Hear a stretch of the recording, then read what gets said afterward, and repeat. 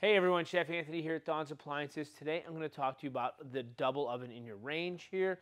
Now I'm just going to give you some benefits, some kind of what I would do with it, and you know the key to this one is the versatility. Obviously, you know we have two different ovens here, different um, size um, cavities, so you can do two different temperatures here. So think about you know doing some cookies in the top oven, whereas you'd be doing cakes in the bottom oven, or like the big holiday that everyone runs out of room in their oven for. Now you could be doing the bigger item at the bottom bottom, you know, whether it be your turkey, whether it be your ham and things like that.